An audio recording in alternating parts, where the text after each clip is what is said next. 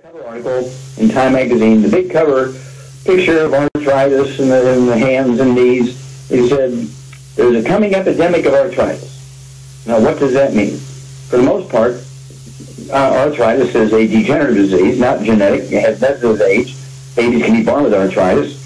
And then there's a form of arthritis called rheumatoid arthritis, which doctors will tell you autoimmune, but it's not. It's actually bone-to-bone arthritis with a secondary infection with a bug called mycoplasma, which is easily killable in two weeks with an antibiotic called minocycline. Remember the tetracycline family. What, your doctor didn't tell you about that? Well, again, arthritis, osteoporosis, osteopenia, yeah, um, things like um, osteoarthritis, degenerative arthritis, bone-to-bone arthritis, bone spurs, kidney stones, periodontal disease, which is osteoporosis of the base, are all due to multiple mineral and multiple vitamin deficiencies. Okay, and the reason why there's a, coming epidemic of arthritis is because these nutrients are no longer found in your food, or maybe there's a little bit, but not certainly optimal amounts. Well, how do you detect this? Well, first of all, you can look at a hair analysis. It's kind of interesting that when you're significantly deficient in uh, calcium, the calcium in your hair analysis is going to be high.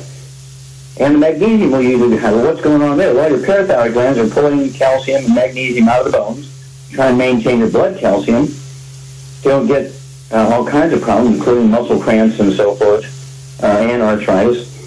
And so the first thing the doctor, when he sees that elevated blood calcium in your blood and elevated calcium in your hair, so all we got to take your parathyroid glands out. And then you let him do that, you're going to be married to that doctor forever because you're going to need his help on a daily basis because you really messed up your mineral system if you remove your parathyroid glands. Don't do it, don't do it, don't do it.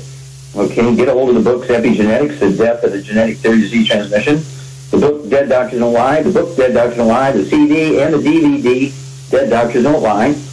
All right, and the book Rare Earth Ventures goes, in, goes into uh, great detail here on why elevated blood calcium and elevated hair calcium mean a raging osteoporosis, just the opposite of what you would think. Then, uh, let's see here.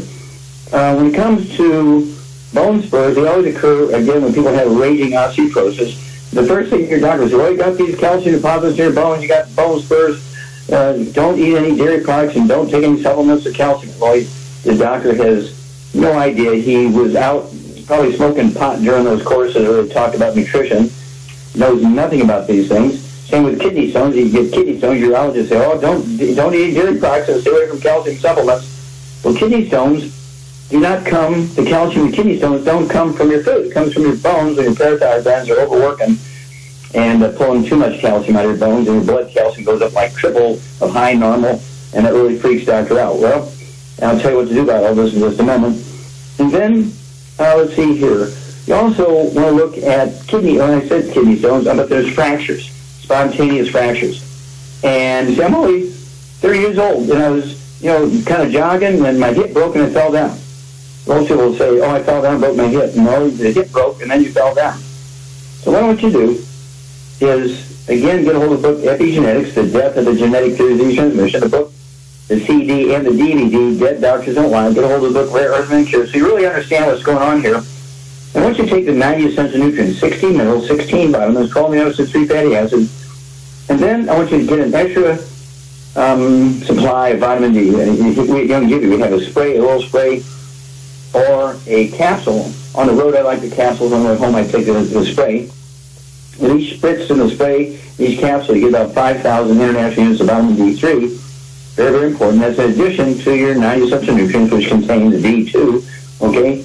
And so you want to get the combination of D3 and D2 and all the other uh, 89 essential nutrients. And then your bones, uh, your connective tissue, all want to repair itself. You know, you have the genes, the DNA, the RNA, the telomeres, they really want to heal your body, but they require raw materials to do this. And so it's, it's imperative, it's imperative that you get a hold of these books, you get a hold of these products. And of course, we like to use, if that's all you have, if you just have bone and connective tissue problems, uh, I would get one healthy and joint pack per 100 pounds of body weight. Get an extra bottle of either the spray vitamin D3 or the capsule vitamin D3 from Youngevity. And they're going to support and promote healthy maintenance and repair of cartilage, ligaments, tendons, connective tissue, disc between the vertebrae, bone matrix, bone cell. And it's amazing. It's amazing our bodies are meant to heal themselves. We have great genes. Humanity hasn't gotten this far um, because our bodies are stupid. Okay, our bodies have the, the ability to heal themselves, but it does require raw materials. Medical doctors have the insane belief that your genes and DNA and RNA and telomeres are autonomous, and they'll make stuff even though you don't have raw material. They're, going to do what they're going to do. It's nonsense. Okay, it's kind of like having a blueprint without bricks and mortar, without wood, without screws and nuts and bolts, without carpenters and roofers and shingles and all kind of stuff.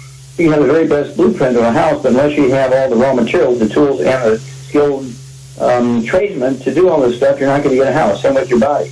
You have the best genes in the world. You know, your grandmom uh, could have been an alcoholic, did drugs, smoked, did bad things, and she would be 120.